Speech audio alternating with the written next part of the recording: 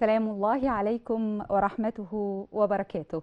أهلا وسهلا بحضراتكم في حلقة جديدة من برنامجنا الجميل تواصل.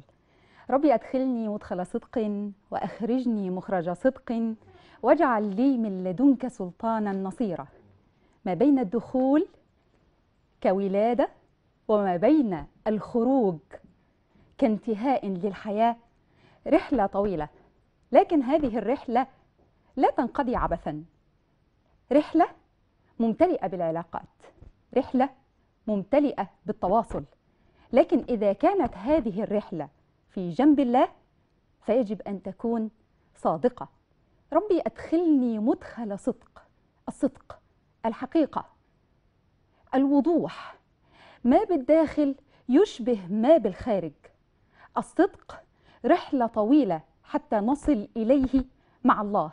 مع النفس مع الأبناء مع الزوجة في جميع أنواع العلاقات. نحو حقيقة نحو إنسان حقيقي نمضي هذه الرحلة. وجهة الدخول ووجهة الخروج وعملته لا تكون إلا بالصدق. لذلك أي علاقة أي أمر جديد في حياتك أي أمر زواج دخولك لمهنة جديدة دخولك في صحوبية جديدة بنائك لأسرة جديدة ولادتك لأولاد جداد بالنسبة لك رحلتك في التربية رحلتك في العمل رحلتك في الحياة حتى وانت داخل للطبيب وانت خارج من عند الطبيب ربي أدخلني مدخل صدق وأخرجني مخرج صدق واجعل لي من لدنك سلطانا نصيرا. وأي سلطان لا ينفعنا إلا سلطان الله سبحانه وتعالى. وأي نصر يثبتنا إلا نصر الله سبحانه وتعالى. لذلك نحن نسعى لأن نكون حقيقيين. حقيقي ليس مثالي والفرق بينهم كبير جدا. أن أكون حقيقيا أن أكون أنا أعلم أني المخطئ وأن الله سبحانه وتعالى هو الكامل في كل أنواع علاقاتي. أنا الذي أخطئ. في كل أنواع علاقاتي أنا الذي أحاول أن أصحح خطئي من الله سبحانه وتعالى. أنا الذي أحاول أن أستمد الطاقة والكمال لهذا النقص الذي يوجد بي من الله سبحانه وتعالى. بعرف من خلال حقيقتي قدراتي بعرف إمكانياتي بعرف مميزاتي وعيوبي اللي بقدر إن أنا أشتغل بيها في الحياة. واللي بقدر إن أنا أتعامل بيها مع غيري. قاعدة عامة كده كانت مع سيدنا آدم عليه السلام وهو في الجنة. الله سبحانه وتعالى علمنا عن طريق أدب النبوة صلى الله عليه وسلم عندما قال لنا كل ابن آدم خطاء وخير الخطائين التوابون. كل ابن آدم سيدنا النبي صلى الله عليه وسلم ليه اختار آدم؟ ليه ربنا بعت لنا آدم وقال كل ابن آدم؟ ما قالش كل الناس. ليذكرنا بالخطأ الأول لآدم عليه السلام. الخطأ الذي نزل به من الجنة إلى الأرض. الخطأ الذي ألهم الله به آدم عليه السلام كلمات فتاب عليه في حين أن الشيطان تكبر. تعالوا كده نفتكر المشهد. شيطان كان طائع لله. سبحانه وتعالى يفكرنا كده بإيه؟ بابن يفكرنا بزوج يفكرنا بصاحب يفكرنا بأخ يفكرنا بناس كتيرة قوي. كان طائع لله سبحانه وتعالى. وفي وسط طاعته لله سبحانه وتعالى أمر الله بوجود كائن آخر وإن الكائن ده يجب أن تسجد له الملائكة. شيطان من نار ملائكة من نور وبني آدم من طين. البني آدم ده كان له ليس له حول ولا قوة إلا أن الله سبحانه وتعالى اختار أن يقدمه عليهم جميعا. حتى ظن الملائكة الملائكة في البداية كان ظنها بالبني آدم ده ان هو خطاء. قالوا أتجعل فيها؟ من يفسد فيها؟ ويسفك الدماء؟ معقولة؟ هو دي صورة صورتنا كانت قدام الملائكة؟ آه. هي دي كانت الصورة اللي كانت الملائكة رسماها لينا في بداية خلق آدم. ولكن الله سبحانه وتعالى يأبى إلا أن يكرم هذا الخلق ويجعله أكرم أنواع الخلق. قال إني أعلم ما لا تعلمون. هنا إبليس تكبر وقال لن أسجد. أسجد لمن خلقت طينة أنا اللي خلقتني من نار. أسجد للي خلقته من طين وهنا تكبر إبليس وأودى بنفسه إلى جهنم وبئس المصير باعتبار ما سيكون. إبليس بتكبره ده بيفكرنا بحاجات كتيرة قوي. بيفكرنا باللي بيقول أنا خير منه في في سورة الكهف أنا أفضل منه أنا أكثر منك مالا وولدا. أنا أنا أنا. علمتني أمي أكرمها الله أنه يا ابنتي إذا دخلت الأنا فاعلمي أن الشيطان قد حضر. ولذلك تميز آدم عليه السلام برجوعه إلى الله بتوبته إلى الله بالندم إلى الله بطلب الغفران وتصحيح الخطأ. لذلك كان كثير الخطأ خير الخطائين التوابون. وهنا يقر الحديث الشريف أني أكثر من الخطأ.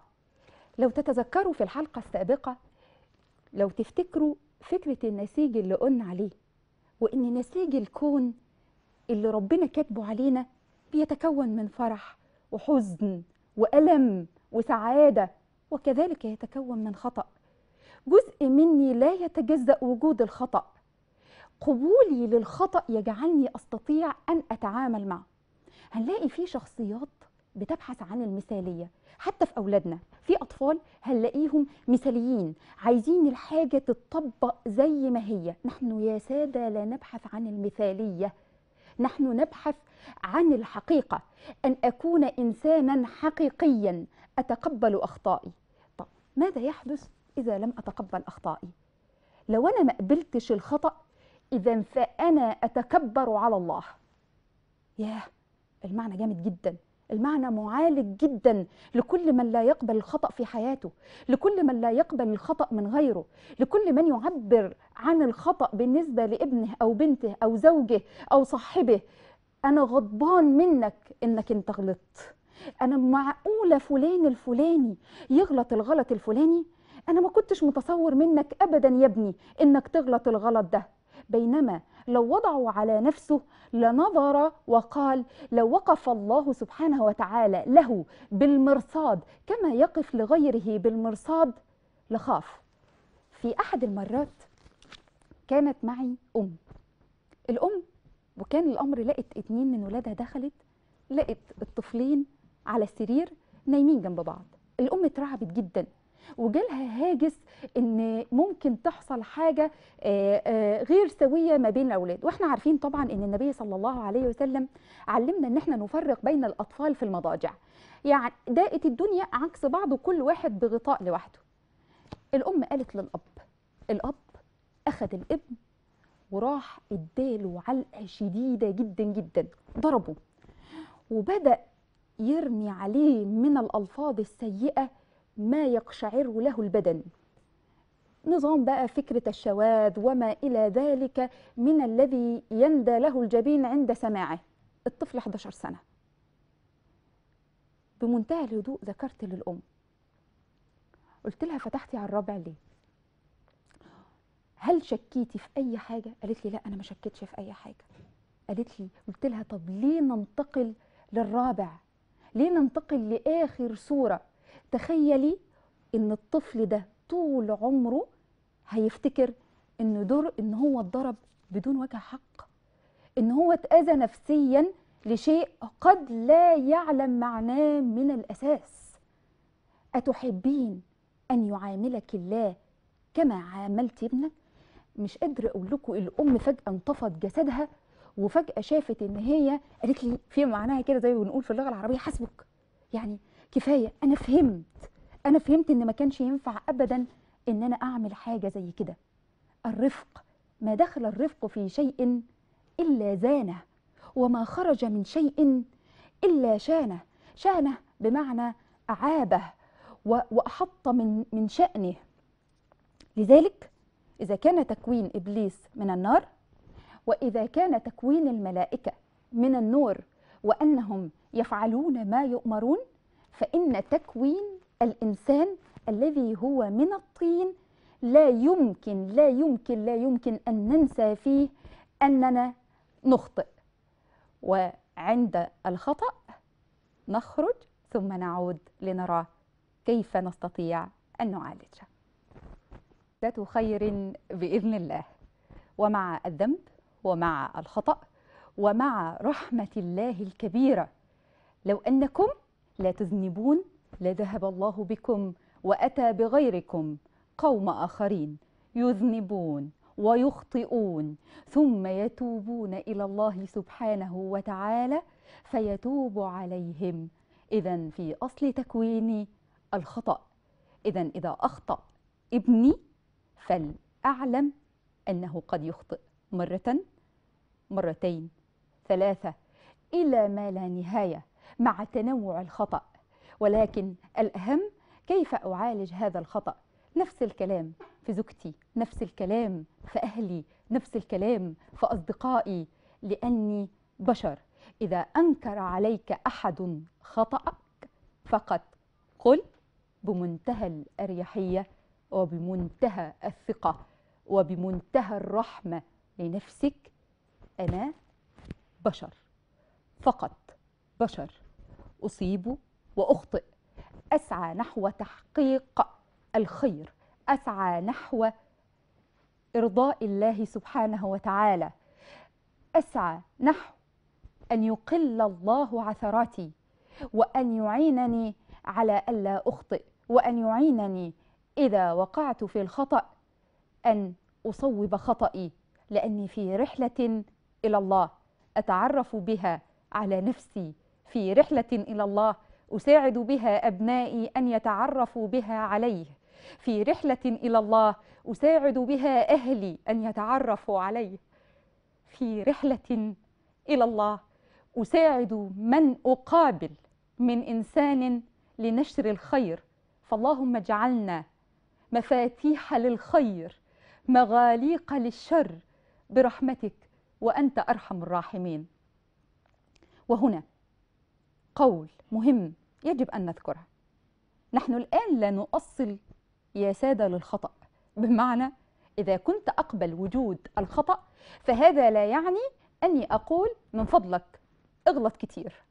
من فضلك أنا موافق على كل الأخطاء اللي أنت بتخطأها أو أنا سعيد بأخطائك. لا لا لا حاشا لله. لكن أما أقبل الخطأ أستطيع بعد ذلك أني أنا أتعامل معاه.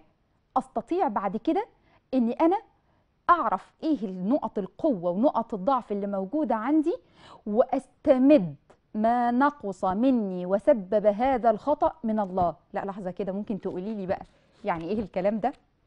الله سبحانه وتعالى اسمه الصمد. اسم الصمد ده بالنسبة لي يعني على المستوى الشخصي من أحب الأسماء إلى قلبي. أنا أحب كل الأسماء وأحاول أن أعمل بكل الأسماء. لكن بالنسبة لي اسم الصمد هو قمة الكمال. آه مثال بسيط كده عشان يوضح اسم الله الصمد معناه إيه. ولله المثل الأعلى. لو عند حضرتك كورة كده والكورة دي مقفولة ومصمطة مصمطة يعني مقفولة من جوه فدي تختلف عن كورة فيها فراغ من الداخل. نرجع باللقطة كده في بداية خلق آدم عليه السلام. آدم عليه السلام كان عبارة عن صلصال والصلصال ده أجوف وكان الشيطان واخده رايح جاي كده من جوه فهو يعلم كل تفاصيل ابن آدم يعلمه ويجري منه مجرى الدم في العروق. ولكن هذا الجوف اللي موجود جوانا جوانا والفضل اللي موجود جوانا والنقص الذي يوجد بداخلنا وارجع وأقول الخطأ الذي نقترفه نحن نريد أن نستمد الكمال من الله سبحانه وتعالى. اذا الله خلق الضعف ده وخلقنا بهذا الخطأ أو ميكانيزم الخطأ موجود فينا لكي أستمد التصحيح والكمال من الله. طب ممكن تشرحي لي بقى يعني إيه؟ أقول لكم. أستمد كمالي من الله فمثلا لقيت نفسي خايف. الله اسمه المؤمن. يا مؤمن أمني رب ربنا عنده الكمال من الأمن وأنا خايف. داخلي جوف وداخلي فضى بسبب الخوف. أنا محتاج أمن. يا رب أمني أنا فقير. فقير والفقر مش فقر مادي بس. في ناس عندها فقر في أخلاقها في ناس عندها فقر في معنوياتها في ناس عندها فقر في مشاعرها. كل الفقر ده في رزقها. من الذي يصب علي صب الكامل الكمال لله وحده؟ من الذي يربيني ويربي أولادي؟ الله سبحانه وتعالى لأنه نعم المربي لديه الكمال كله. ولذلك أستمد من نقصي من كمال الله وحده. فقير إلى القو... إلى الغني ضعيف إلى القوي مكسور إلى الجبار الذي يجبر الكسر خائف إلى المؤمن الذي يؤمنني ذليل إلى العزيز الذي يعزني. هذا هو الله هذا هو الله الذي يغضب إن لم تسأله. فاعلم أن حياتنا لابد أن نسأل فيها الله فيها الله سبحانه وتعالى. ومن لم يسأل الله أصبح متكبر بنص الآية. اذا هنا نعرف إيه الربط ما بين الكبر وبين عدم الدعاء لله سبحانه وتعالى. لأني ببساطة كده بقول له أنا مش محتاجك يا رب. أنا عندي كل حاجة. أنا بعرف اربي ولادي زي الفل. أنا مفيش غلطة. أنا مستقيم. وكتير من الناس بتقول لك هو أنا عملت حاجة؟ هو ده أنا ماشي زي الفل. هنا لابد لابد من مراجعة النفس لكل منا من وقت لآخر ولا بد من أن أستكمل كل ما نقص عندي حتى الفهم. لو ما فهمتش حاجة وأغلق علي الفهم أدعي ربنا سبحانه وتعالى إن هو يكملني من عنده إن هو يعطيني الفهم من عنده. هنتقل بقى لنقطة تانية. نقطة جوهرية جدا ولها علاقة بي بفكرة الخطأ ولها علاقة بالإنسان. قاعدة مهمة في التربية قاعدة مهمة في التعامل مع الناس والتواصل معاهم وأولهم الأهل ثم الدائرة الأوسع فالأوسع أن نفصل ما بين السلوك والإنسان.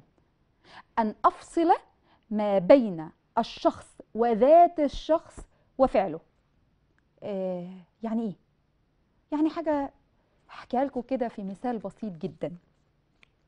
ابن آه الابن ده كان في مرحلة المراهقة. الكلام ده حقيقة وحدث لأحد الأشخاص من عشرين سنة.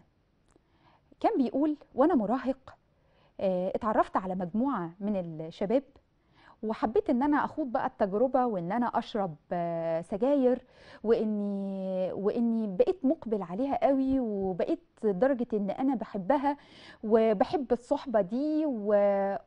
ولكن مع كل ده أنا بحترم والدي قوي وبحب والدي قوي. كان حريص جدا إن هو يخبي السجاير ويحطها في مكان محدش يعرف عنه أي حاجة. وكان حريص جدا إن أول ما والده يخرج ويسيب المكان إنه ينطلق بسرعة ويطلع على سطح البيت وبعدين يروح يشرب السجاير. في يوم بقى من الأيام راح جايب السجاير من علبة السجاير من المكان اللي هو مخبي فيه السجاير بتاعته. وطلع جاري بعد خروج والده وفتح السجاير العلبة ففوجئ بورقة ملفوفة بدل السجاير. دور على السجاير مفيش سجاير. راح مطلع ال ال الورقة دي والرسالة دي وهقرأ معاكم آه كلام الأب الرائع حد حقيقي من وسطنا آه أشكره رغم أني لا أعلمه.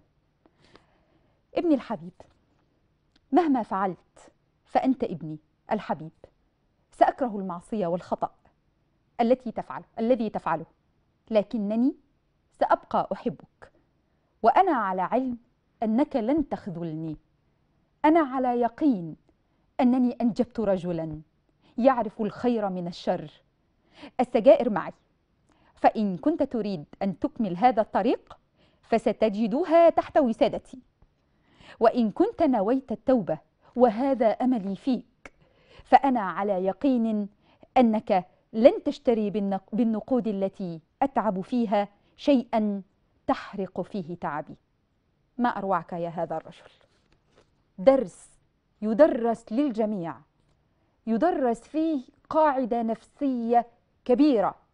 لا تدمج ولا توحد بين الشخص وبين الإنسان وبين الزوجة وبين الأم وبين الأخت وبين الابن وبين كل إنسان تعلم حتى أنا حتى أنت. لا تخلط ما بين شخصي وذاتي التي كرمها الله سبحانه وتعالى وقال فيها ولقد كرمنا بني آدم ولقد خلقنا الإنسان لقد خلقنا الإنسان في أحسن تقويم هذا تكريم الله لي تكريم ربنا اللي خلقني خليفة ليه في الأرض سخر هذا الكون كله ليا ما تخبطش في ذاتي لكن إذا لم يعجبك فعلي الذي أفعله فحدثني في فعلي طيب هنا لو جينا حللنا كلام الأب الأب قال للابن قال له أنت ابني حبيبي. غلطت ما غلطتش أنت هتظل ابني حبيبي. هنا لاحظنا إن الأب ما نزلش الابن لمجرد فعله فعل سيء ما, ما, ما عملش معاه دونية ما قالوش أنت سقطت من نظري. ولسه هناخد بقى الحاجات اللي إحنا بنسمعها اللي هي خبط في الذات مباشرة. الأب هنا قال له فصل ما بين الخطأ وفصل ما بين ذاته. قال له أنا بكره المعصية اللي انت عملتها. أنا بكره شربك للسجاير.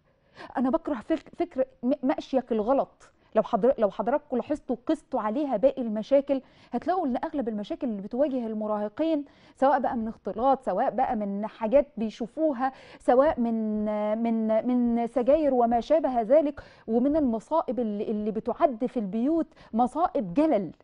ونسأل الله العافية منها وأن يحفظ أبناءنا جميعا منها. هنلاقي إن الأب هنا قال له أنا بحبك. لكن أنا بكره المعصية دي. اللي انت بتعملها. ورغم انك لسه بتعملها إلا إني بحبك. عملك ليها مش هيخليني أوقف عن الحب. لو تلاحظوا لقطة صغيرة كده أحب أرجع بيها طفل الثلاثه والأربع والخمس سنوات دائما دائما أما يحصل حاجة غلط يجي يقول للأب والأم يعني أنت كده مش بتحبني؟ الجملة دي كل واحد يراجع فيها ابن عدى عليه في السن ده. هنا الطفل بيدمج لا إراديا ما بين الحب الذي يتعلق بالذات اللي هو مرتبط بيا أنا كإنسان وما بين الفعل. فلو الأب والأم وحد ما بين الخطأ بتاع الإنسان أو خطأ ابني أو خطأ زوجتي أو أيا يكن من الأفراد اللي حواليا وما بين الحب حدث خلل. لأنه بديهي. أول رسالة هتوصلني أنا قليل. أنت ما بتحبنيش. أنت شايفني وحش. فأنا هتعامل بعد كده على الأساس ده إن أنا وصلتني رسالة أنا وحش.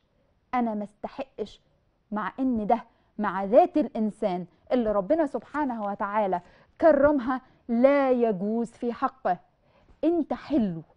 أنت تستحق أنت خليفة الله في الأرض.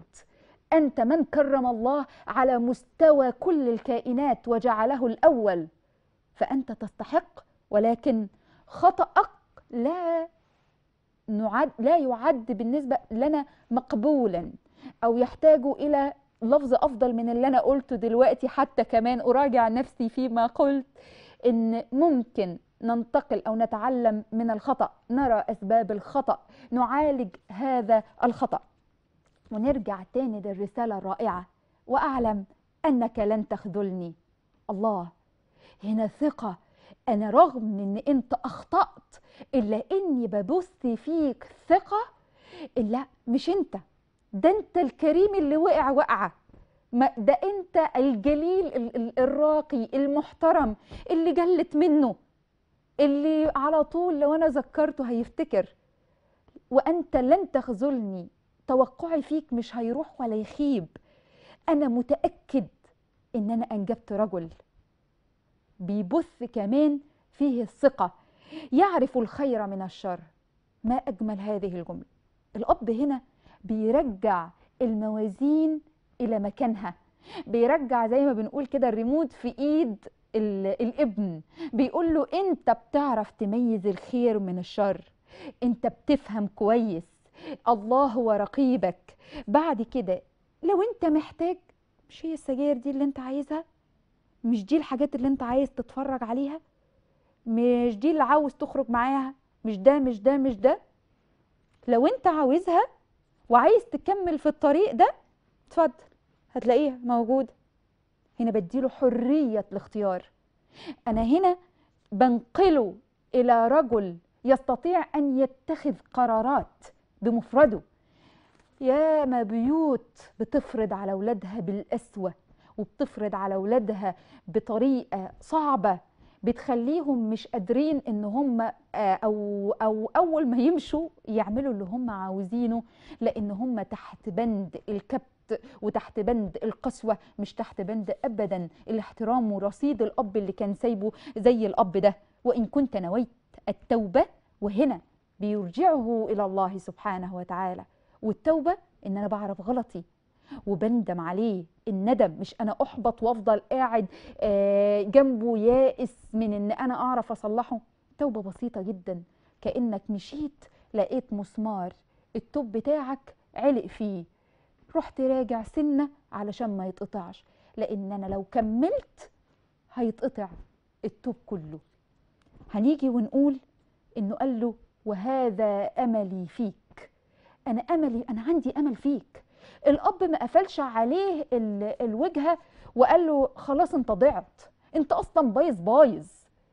ده لو عنده فرصة نفسية جواه إن هو يصلح مش هيصلح. هيصلح ليه؟ وأنا شايف اللي أنا بشوف نفسي فيه وإن هو مرايتي وإن أنا بفرح أما هو بيشوفني وإن تقديري بيجي منه أما يشوفني واقع وبايظ. على أي أساس أنا هبدأ أصلح بنفسي؟ فأنا على يقين أنك لن تشتري بالنقود التي أتعب فيها شيئا تحرق فيه تعبي. وهنا الجزاء من جنس العمل. الأب بيتعب وبيشقى. وهنا يستخدم العاطفة اللي بتعب فيه وبشقى عشانه وبقف طول اليوم من التعب. هل هذا التعب ما يستحقش منك؟ إنك بدل ما تحرق فيه سجاير تكون بداله بوقفتك بحرق السجاير ده بتحرق فيه تعبي اللي وقفت فيه. ما أروع هذا الأب وما أكرمه في التعبير لابنه. الابن على فكرة بيحكي إن هو من عشرين سنة ما استطاعش إن هو يقف على رجله بيقول رجلي كانت بترتجف من آه، رسالة أبي. والجمال في الموضوع إن هو قرر إن هو مش هيرجع للسجاير تاني أبدا. والأجمل إن الأب ما كلموش شفويا ابدا في الموضوع وإنه كان كل ما ينزل عنده يبتسم في وشه دون كلمة. والأب عارف إن ابنه ما بقاش يرجع للسجاير تاني لأن فضلت السجاير تحت وسادة الأب لفترة وفضل الابن يبتسم في وجه أبيه ويصحح خطأه بنفسه. كده أنا بعلم ابني أن يكون عنده ضمير ذاتي قوة إرادة ذاتية سواء كان موجود الأب أو الأم أو ما كان أو ما كانوش موجودين. سيكون عندي القدرة أن يصحح أخطائي وأقيمها وأذهب إلى الأمام لنقطة أخرى سأقابل فيها خطأ آخر وأصحح في رحلة نحو الله سبحانه وتعالى. لقد خلقنا الإنسان في أحسن تقويم. لقد كرمنا بني آدم. على عكس ده الشخصيات اللي بنلاقيها بتخبط في الذات. ودي بنلاقيها بقى إزاي؟ في عبارات كتيرة جدا بنشوفها. زي مثلا خسارة فيك الأكل اللي الواحد تعب علشان يأكله لك. زي مثلا يا خسارة كل الفلوس اللي صرفتها عليك. أنت ما تستحقش ولا قرش من. من الفلوس اللي أنا تعبت علشان علشان أصرفها عليك. ما هو أنت لو متربي ما كنتش تعمل كده. ما هو أنت كذا وكذا وكذا. كل ده خبط في الذات. أما اتخبط فاقرب ما ي... من أقرب ما يمكن لي إزاي تقوم لي قومه فكرني بحاجة لسه فاكراها دلوقتي. سبحان الله رزقكم. سيدنا النبي صلى الله عليه وسلم أما كان واقف وكان بيقول آه بيعبر عن العقيدة اللي ربنا سبحانه وتعالى اداها له. كان في قوم الصادق الأمين من البداية والناس تعلم إنه الصادق الأمين ولولا أنه اختلف معهم في الفكر وهم عرضوا الحاجة دي على أهوائهم ولقوها لقوهم مش هيقدروا يتبعوا حاجة زي كده وتكبروا على الأمر والله لظلوا يقولوا عليه الصادق الأمين. لكن أما اختلف معاهم ووقف النبي صلى الله عليه وسلم ودعا قومه وجه أبو لهب عمه. تخيل حد مني حد مني قال له آه تبا لك يا محمد. تب يعني أنت يا نهار أبيض. ابقى واقفه واللي مني بيشتمني بيدعي عليا؟ مش قادرة أقول لحضراتكم أنا لما بحسها مش مجرد كده أنا بسمعها. أنا فعلا سعدت بقول الله سبحانه وتعالى تبت يد أبي لهب وتب. هكذا يكون الحق. إن أمور الناس تستقيم بالعدل والرحمة ولا تستقيم بالظلم والقسوة.